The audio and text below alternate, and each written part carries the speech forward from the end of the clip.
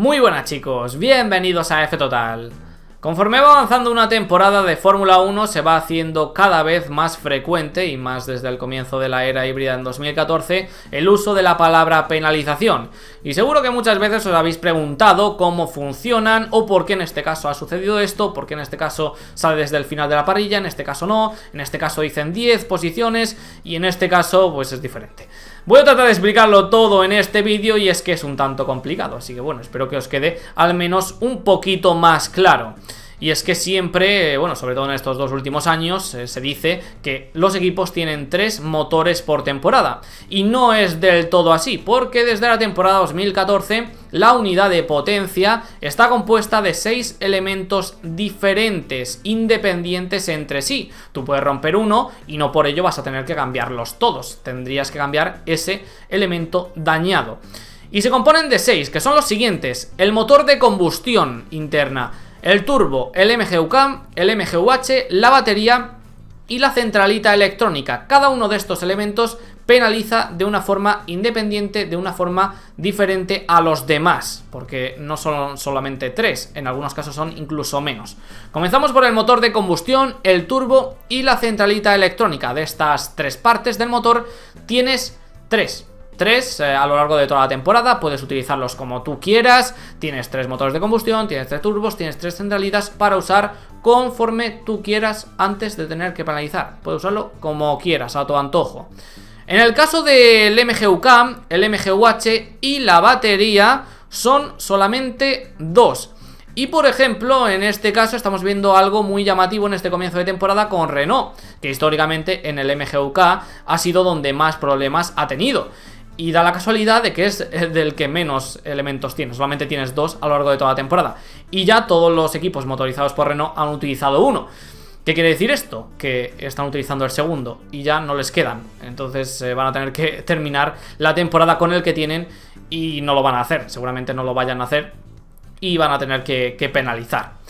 ¿Y cómo penalizan? Eh, pues cada uno, cada vez que te pases de ese límite, 3 en el motor de combustión turbo y centralita y 2 en el MGUK, MGUH y batería, serán 10 posiciones de sanción de una manera independiente como hemos comentado. Si tú cambias un motor de combustión serán 10 puestos, si cambias un turbo y un motor de combustión se supone que son 20 puestos, pero no, mm, a partir de ahí, a partir de que cambies dos cosas, ya saldrás directamente desde el final de la parrilla.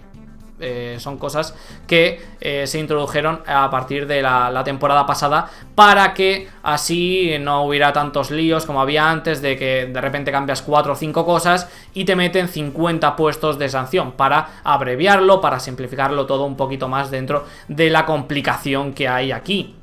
Y a partir de esta temporada también se ha incluido para que todo sea más sencillo que todos los equipos tengan que formar parte de la clasificación y según cómo clasifiques, así saldrás. Si tienes que penalizar, saldrás desde atrás, pero si dos eh, equipos diferentes, dos coches diferentes penalizan, el que haya clasificado por delante saldrá por delante uno del otro. Así será todo un poquito más sencillo dentro de esta complicación que hay. Pero no todo queda aquí, porque hay una pequeña complicación más, y es que a partir de la segunda vez que penalices en cada elemento de estos citados anteriormente, no serán 10, sino que serán 5. Por ejemplo, vamos a poner un ejemplo. Eh, rompes, el, eh, eh, Carlos Sainz rompe en Azerbaiyán el MGUK, lo cambia para España, serán 10 posiciones de sanción. Y se le rompe otra vez, pues para Mónaco serán solamente 5, bueno, solamente. Y hay otra cosa más, eh, tenemos ese motor que ya hemos comentado las partes que tienen, cómo penalizan, etcétera, etcétera. Pero también tenemos la caja de cambios y aquí también ahí tiene su, su intríngulis. Porque cada caja de cambios tiene que durar un mínimo de 6 grandes premios consecutivos. Eh, ahora mismo tanto eh, Vettel como Hamilton como Leclerc como tal tienen que durar su caja de cambios seis grandes premios. Hasta el gran premio después de Mónaco, supongo que será así, después de Mónaco, Canadá, no podrán cambiar su, caja de cambios, no podrán estrenar una nueva.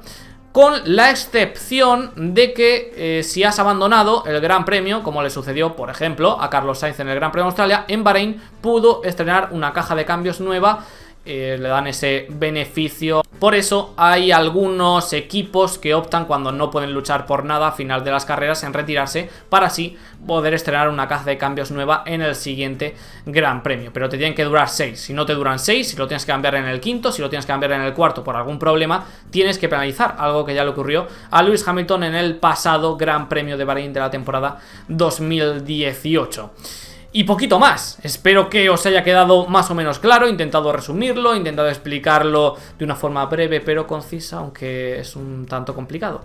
Lo sé, dejadme en los comentarios qué opináis, dejad un buen like si os ha gustado este tipo de vídeos, explicando un poco algunas de las cosas más Mm, complicadas que tiene la Fórmula 1, como es este tema de las penalizaciones, que las quieren simplificar para 2021 y creo que es algo necesario. Tampoco es algo necesario el saberlo absolutamente todo, porque al final te informas, te dicen, bueno, ha penalizado 15 puestos y ya tú sabes que va a salir desde el final de la parrilla.